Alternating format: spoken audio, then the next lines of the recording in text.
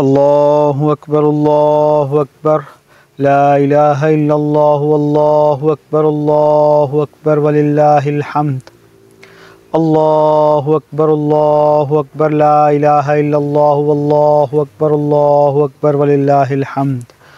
الله أكبر الله أكبر. لا إله إلا الله والله أكبر الله أكبر ولله الحمد. اللہ اکبر کبیرا والحمد للہ کثیرا سبحان اللہ بکرۃ واصیلا الحمد للہ حمدا کثیرا طیبا مبارکا علی کل مکان فی کل حال اللہ رب العزت کا لاکھ لاکھ شکر ہے، اس کا کرم ہے کہ جس نے ہمیں رمضان المبارک کی مبارک ساعتیں عطا فرمائیں۔ جس میں ہم، جس نے ہمیں ستائیسویں شب کو للت القدر کی نعمت سے نوازا۔ اس رحمان ذات کا لاکھ لاکھ کروڑ کروڑ ارب ارب شکر ہے کہ وما قدر اللہ حق قدری، کہ انسان اللہ کی قدر اس طرح نہیں کر سکے کہ جیسے اللہ کی قدر کرنی چاہیے تھی، مگر اس کے باوجود اللہ رب العزت انسانوں کو نوازتا رہتا ہے، ان کو رزق دیتا ہے، ان کی تمام ضروریات، ان کا لباس، کھانا، پینا، تمام ضروریات پوری فرماتا ہے۔ اور وہ خود کو رب العالمین بیان فرماتا ہے، جو تمام جہانوں کا پالن ہار ہے، پالنے والا ہے۔ نہ صرف ان کو پیدا فرمایا، نہ صرف ان کو زندگی اور موت اس رب کے ہاتھ میں ہے، بلکہ وہ ان کو پالنے والا ہے پالن ہار ہے، ان کا کھانا، پینا، لباس، پہننا، اٹھنا، اوڑھنا، سب کچھ اللہ کے ذمے ہے، وہی پورا کرتا ہے۔ رسول اللہ صلی اللہ علیہ وسلم کا عید والے دن معمول یہ تھا کہ کسی کھلی جگہ کے اوپر تشریف لے جاتے تھے اور وہاں پہ عید کی نماز ادا فرماتے تھے۔ اور عید والے دن آپ صلی اللہ علیہ وسلم کے آگے ایک ساتھی چلا کرتے تھے جن کے ہاتھ میں نیزہ ہوا کرتا تھا اور وہ نیزہ گاڑ دیا جاتا تھا اور اس نیزے کی اوڑ میں آپ صلی اللہ علیہ وسلم جماعت کروایا کرتے تھے۔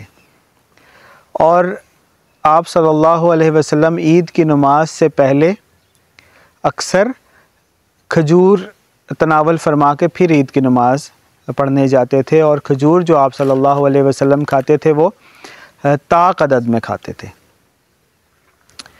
اور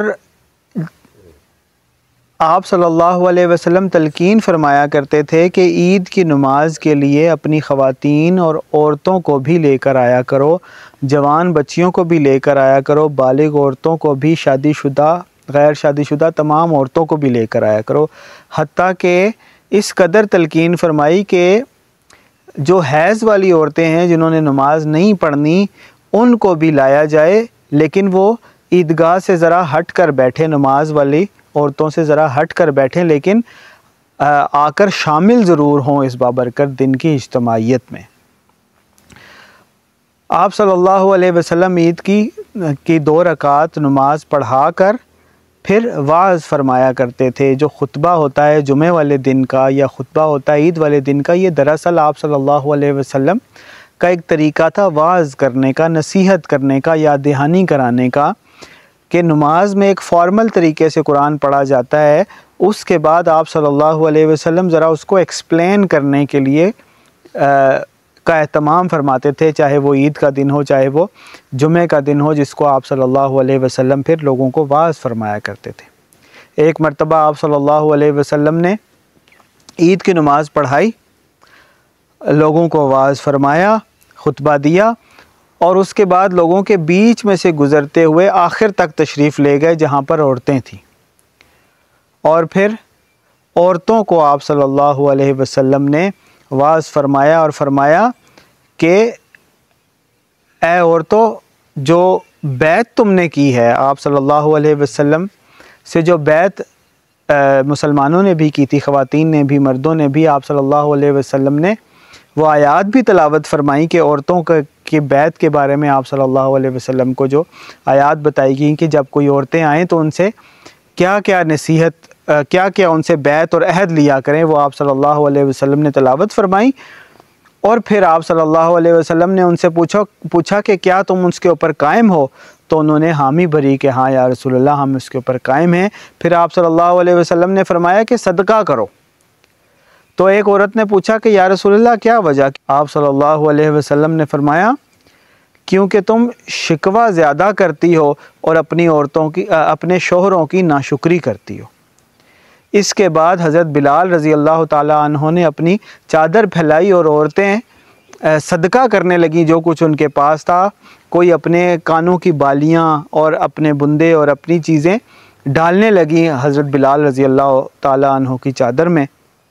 اور اس طرح عورتوں نے بہت صدقہ کیا۔ یہ آپ صلی اللہ علیہ وسلم کا عید میں اس طرح کا معمول ہوا کرتا تھا۔ لیکن جو عید کی نماز آپ صلی اللہ علیہ وسلم پڑھاتے تھے اس کے اندر ایک بہت ہی بنیادی نقطہ ہے جس کو ہم اکثر بھول جاتے ہیں۔ عید کی نماز میں جو بلایا جاتا تھا وہ کون بلاتا تھا؟ وہ محمد الرسول اللہ صلی اللہ علیہ وسلم بلاتے تھے۔ نماز کون پڑھاتا تھا؟ محمد الرسول اللہ صلی اللہ علیہ وسلم پڑھاتے تھے۔ خطبہ کون دیتا تھا؟ محمد الرسول اللہ صلی اللہ علیہ وسلم دیتے تھے۔ یہ محمد الرسول اللہ کون تھے؟ یہ وہی تھے کہ جب کوئی اختلاف انسانوں میں ہو جاتا تھا تو اس کا فیصلہ کون فرماتا تھا؟ محمد الرسول اللہ صلی اللہ علیہ وسلم فرماتے تھے، جب کسی امر کے بارے میں، کسی کام کے بارے میں فیصلہ کرنا ہوتا تھا، تو فیصلہ کون کرتا تھا؟ محمد الرسول اللہ صلی اللہ علیہ وسلم کرتے تھے۔ اور عید والے دن ایک روایت میں یہ بھی آتا ہے کہ آپ صلی اللہ علیہ وسلم نے اگر کوئی لشکر کہیں بھیجنا ہوتا تھا، تو اس کے بارے میں بھی لوگوں کو آگاہ کرنا ہوتا، تو وہ عید کی نماز میں آگاہ کر دیا کرتے تھے۔ یعنی کہ عید کی نماز میں بلانے والا کون تھا؟ عید کی نماز میں نماز پڑھانے والا کون تھا؟ وہی تھا جو لشکروں کو بھیجتا تھا، صلی اللہ علیہ وسلم۔ وہی علی شان ہستی تھی جو نماز میں امامت فرماتی تھی۔ وہی علی شان ہستی تھی جو لوگوں کے فیصلے فرمایا کرتی تھی وہی عالیشان ہستی تھی جس نے مسجد نبوی کی بنیاد رکھی تھی۔ وہی عالیشان ہستی تھی جو لوگوں کے صدقات جمع فرمایا کرتے تھے۔ وہی عالیشان ہستی تھی جو لوگوں سے زکوٰۃ لیا کرتے تھے۔ اور وہی عالیشان ہستی تھی کہ جب کوئی مجرم جرم کرتا تھا تو اس کا ہاتھ کاٹنے کا حکم صادر فرمایا کرتے تھے۔ وہی عالیشان ہستی تھی کہ اگر کوئی زنا کا مرتکب ہوتا تھا، شادی شدہ، تو اس کے ساتھ رجم کا معاملے کا فیصلہ بھی فرمایا کرتے تھے۔ لیکن یہ بنیادی نقطہ ہم بھول گئے اور ہم نے عید کی نماز کو بس اتنا ہی رہنے دیا کہ کہ تکبیرات پڑھنی ہے، میٹھا کھا کر جانا ہے، نئے کپڑے پہننے ہیں، خوشبو لگانی ہے، نہا کر جانا ہے۔ اور جہاں ہو سکے عیدگاہ میں چلے جانا ہے، ورنہ مسجد میں نماز پڑھنی ہے۔ اور امام نے نماز پڑھانا ہے اور نماز کے بعد خطبہ ہونا ہے اور اس کے بعد ہم نے دنیا کے اپنے کاموں میں لگ جانا ہے۔ محمد الرسول اللہ صلی اللہ علیہ وسلم کے دین کا بنیادی کرکس بنیادی مغزی ہم نے بدل ڈالا ہے کہ محمد الرسول اللہ صلی اللہ علیہ وسلم سال کے گیارہ مہینے تین سو انسٹھ دن آپ صلی اللہ علیہ وسلم لوگوں کے فیصلے کرمایا فرمایا کرتے تھے، لوگوں کے معاملات کو حل فرمایا کرتے تھے، لوگوں کے اوپر حکمران تھے، اللہ تعالیٰ کی طرف سے خلیفہ تھے، محمد رسول اللہ معاملات کو سنبھالنے والے تھے، ریاست کے امیر تھے، لوگوں کے اوپر اللہ تعالیٰ کی طرف سے مقرر کردہ حکمران تھے۔ پھر وہی حکمران جا کر امامت فرمایا کرتا تھا، پھر وہی حکمران جا کر لوگوں کو نصیحت کیا کرتا تھا، پھر وہی حکمران جا کر لوگوں کو اللہ کے دین کے قائم اور غلبے کے بارے میں یاد دہانی کروایا کرتا تھا۔ یہ محمد الرسول اللہ صلی اللہ علیہ وسلم کا طریقہ تھا۔ لیکن ہم نے اس بات کو اس حد تک محدود کر دیا ہے کہ عید کی نماز کے بعد خطبہ عربی میں ہونا چاہیے یا اردو میں ہونا چاہیے۔ جمعہ کا خطبہ اردو میں ہونا چاہیے یا عربی میں ہونا چاہیے۔ سنتیں پہلے پڑھنی چاہیے یا درمیان میں وقفے میں پڑھنی چاہیے۔ فرض نماز ہی پڑھنی ضروری ہے اور یا سنتیں بھی پڑھنی ضروری ہیں۔ ہم نے اسی حد تک دین کو محدود کر دیا ہے۔ اس سے آگے محمد الرسول اللہ صلی اللہ علیہ وسلم جو دین لے کر آئے تھے، اس کی ابتدا یہ تھی، انتہا اس کی یہ تھی کہ محمد الرسول اللہ صلی اللہ علیہ وسلم اپنے صحابہ کو حکم دیتے ہیں۔ اللہ قرآن میں کہہ دیتا ہے کہ ان فرو و سقالا اللہ کا حکم آ گیا ہے۔ نہیں دیکھا جائے گا کہ کوئی غریب ہے، نہیں دیکھا جائے گا کہ کوئی امیر ہے، نہیں دیکھا دیکھا جائے گا کہ کسی کے ساتھ کوئی مشکل ہے یا آسانی ہے، نہیں دیکھا جائے گا کسی کے پاس زرہ ہے یا تلوار ہے۔ بس اللہ کا حکم آ گیا کہ ان فرو خفاف و سقالہ ہم نے دشمن سے لڑنے کے لیے جانا ہے۔ محمد الرسول اللہ صلی اللہ علیہ وسلم خود قیادت فرمائیں گے، خود سے پاس سلار ہوں گے اور دشمن کی صفوں میں جا کر دشمن کا کلا کما کریں گے۔ یہ محمد الرسول اللہ صلی اللہ علیہ وسلم کے دین کا مکمل خاکہ تھا، جو نماز، تکبیرات، تسبیحات سے شروع ہوتا ہے اور اللہ کی زمین پر اللہ کے نظام کو قائم کرنے پر آ کر مکمل ہوتا ہے۔ یہ محمد رسول اللہ صلی اللہ علیہ وسلم کا دین تھا۔ اگر محمد رسول اللہ صلی اللہ علیہ وسلم کے دین سے حکومت نکال دو، ریاست نکال دو، محمد رسول اللہ صلی اللہ علیہ وسلم کے حکم کے مطابق فیصلے نہ کرو، اب فیصلے اپنی مرضی سے کرو، سودی معاملات کرو، زکوٰۃ نہ لو، زکوٰۃ لوگ اپنی مرضی سے دیتے رہیں اور ٹیکس حکومت زبردستی لے۔ اگر لوگوں کے ساتھ کوئی انصاف نہ مل رہا ہو چوری کرنے والے کا ہاتھ نہ کاٹا جائے اور جس کی چوری ہو، اس کو اس کا مال واپس نہ مل رہا ہو۔ جو مظلوم ہو، اس کی داد رسی نہ ہو۔ اور بچے کو پیدا ہوتے ہی غربت کہ غربت کی صورت میں وظیفہ نہ مل رہا ہو اور غریب بھوکا سو رہا ہو اور امیر امیر سے امیر تر ہوتا جا رہا ہو۔ تو وہ محمد الرسول اللہ کا دین نہیں ہو سکتا۔ اس کا کوئی بھی نام دے دو، وہ محمد الرسول اللہ صلی اللہ علیہ وسلم کا دین نہیں ہے۔ محمد الرسول اللہ کا دین مکمل ہے۔ عبادات، تسبیحات سے شروع ہو کر ریاست کے انتظام و انسرام تک جا کر مکمل ہوتا ہے۔ یہ محمد الرسول اللہ کا مکمل دین ہے۔ اور یہ محمد رسول اللہ کا مکمل دین نہ اس وقت کعبۃ اللہ میں نافذ ہے۔ یہ محمد رسول اللہ کا دین نہ اس وقت مدینہ المنورہ میں نافذ ہے۔ یہ محمد رسول اللہ کا مکمل دین نہ عراق میں نافذ ہے، نہ شام میں نافذ ہے، نہ فلسطین میں نافذ ہے، نہ امریکہ میں، نہ برطانیہ میں، نہ یورپ میں اور نہ ہی پاکستان میں نافذ ہے۔ اب جب محمد الرسول اللہ کا مکمل دین کہیں بھی نافذ نہیں ہے، تو پھر اللہ کا فیصلہ کیا ہے؟ وَمَن لَمْ يَحْكُمْ بِمَا أَنزَلَ اللَّهُ فَأُولَئِكَ هُمُ الْكَافِرُونَ۔ پھر اللہ کا فیصلہ یہ ہے کہ اللہ کی زمین پر اس وقت کوئی مسلمان نہیں بستا۔ وَمَن لَمْ يَحْكُمْ بِمَا أَنزَلَ اللَّهُ فَأُولَئِكَ هُمُ الْفَاسِقُونَ۔ اللہ کی زمین پر پھر کوئی فرما بردار نہیں بستا۔ وَمَن لَمْ يَحْكُمْ بِمَا أَنزَلَ اللَّهُ فَأُولَئِكَ هُمُ الظَّالِمُونَ۔ پھر اللہ کی زمین کے اوپر کوئی بھی انصاف کرنے والا نہیں بستا۔ چاہے وہ کوئی آرمی چیف ہو، چاہے وہ کوئی وزیر اعظم ہو، چاہے وہ کوئی امام کعبہ ہو، چاہے کوئی مسجد اقسا کا امام ہو، چاہے وہ کوئی لڑنے والا ہو، چاہے کوئی تلوار اٹھانے والا ہو، چاہے وہ کوئی تاجر ہو، چاہے وہ کوئی ریاست چلانے والا ہو، چاہے وہ کوئی مسجد کا امام ہو، وہ کچھ بھی ہو سکتا ہے۔ وہ اللہ کے حکم کے مطابق صرف اور صرف کیا ہے؟ وَمَن لَمْ يَحْكُمْ بِمَا أَنزَلَ اللَّهُ فَأُولَئِكَ هُمُ کافرون کہ جو لوگ اللہ کے فیصلے کے مطابق حکومت نہیں چلاتے، وہ کافر ہیں۔ وَمَن لَمْ يَحْكُمْ بِمَا أَنزَلَ اللَّهُ فَأُولَئِكَ هُمُ الْفَاسِقُونَ کہ جو لوگ اللہ تعالیٰ کے فیصلوں کے مطابق، اللہ تعالیٰ کے قرآن کے مطابق حکومت چلانے کی ڈیمانڈ نہیں کرتے، وہ نافرمان ہیں۔ وَمَن لَمْ يَحْكُمْ بِمَا أَنزَلَ اللَّهُ فَأُولَئِكَ هُمُ الْفَاسِقُونَ۔ اور جو لوگ اللہ کے نظام کے مطابق حکومتوں کا نظام نہیں چلاتے، امیر وہی نہیں ہوتا جو امامت کروائے، امیر وہی نہیں ہوتا کہ جو عدالت کا نظام چلائے، جب تک امیر وہی نہیں ہو جاتا، جو سپا سالار بھی ہو، امام بھی ہو، حکمران بھی ہو، عادل بھی ہو، انصاف پسند بھی ہو، اور خود بھی وہی کھائے جو ایک مزدور کھاتا ہے، اور خود بھی وہی پہنے جو ایک عام مزدور اور غریب شخص پہنتا ہے، تب تک اللہ کی زمین پر کافر بستے ہیں، مسلمان نہیں بستے۔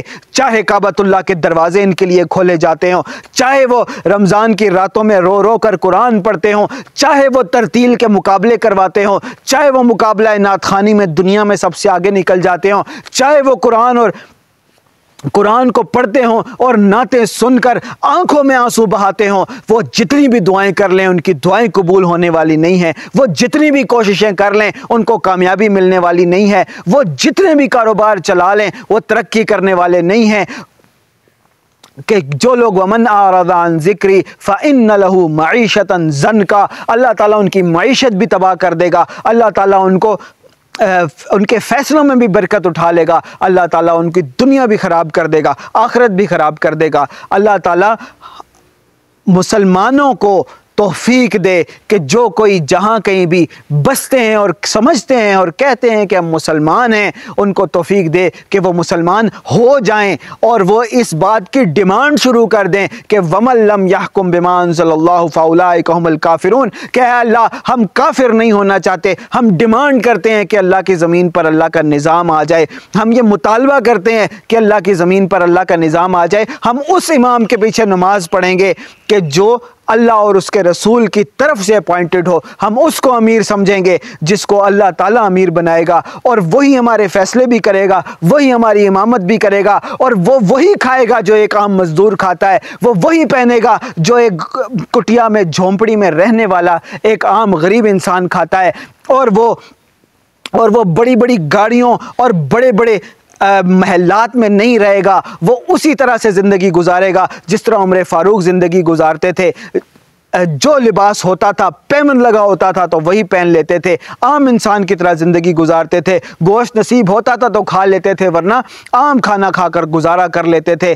وہ حکمران جب تک نہیں آ جاتے، وہ نظام جب تک نہیں آ جاتا، اے اللہ، ہم تجھ سے مطالبہ، تجھ سے دعا کرتے ہیں اور حکمرانوں سے مطالبہ کرتے ہیں کہ اللہ، اپنی زمین پر اپنا نظام قائم فرما دے اور حکمرانوں سے مطالبہ کرتے ہیں کہ کافر مت بنو، صرف وہ بنو جو محمد الرسول اللہ صلی اللہ علیہ وسلم نے حکم دیا جو دین محمد رسول اللہ لے کر آئے اللہ اکبر اللہ اکبر لا الہ الا اللہ واللہ اکبر اللہ اکبر وللہ الحمد اللہم صلی وسلم علی سیدنا محمد وعلی آلہ واصحابہ واہل بیتہ اجمعین اللہم اغفر لجمیع المؤمنین